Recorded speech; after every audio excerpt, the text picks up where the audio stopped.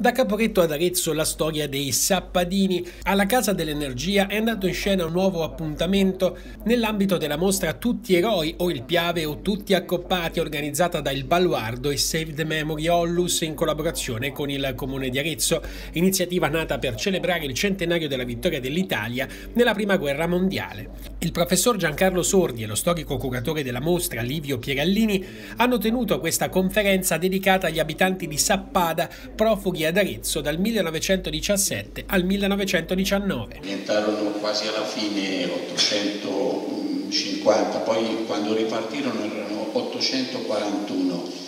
Il, perché una parte mi arrivò nella prima mandata 630, una parte, quelli 160 che partirono successivamente, andarono a finire a Fano e videro per la prima volta il mare perché non si erano mai mossi da questa valle e da Fano poi furono, furono, portati ad Arezzo, quindi tante famiglie qui furono riunite grazie a Don, Luigi, a Don Emidio Troiero.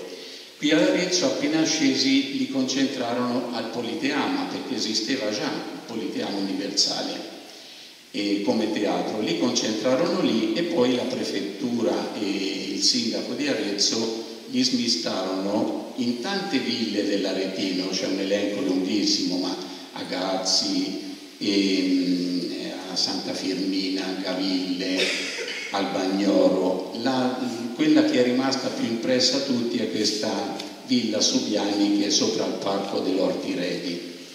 Il, ad Arezzo però non furono collocati solo qui in città o nel comune d'Arezzo, ma andarono in eh, circa 10-11 comuni. Dopo Arezzo il nucleo maggiore a Ortona, andarono a San Sepolcro, in Casentino, a Bucine, Uccine come dicono loro, e quindi furono sparsi in molte zone della provincia.